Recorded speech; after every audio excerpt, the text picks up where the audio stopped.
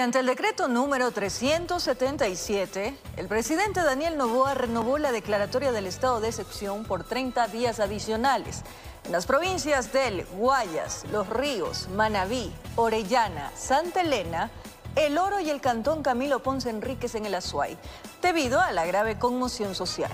El decreto mantendrá las mismas condiciones que los decretos ejecutivos firmados en julio y agosto de 2024.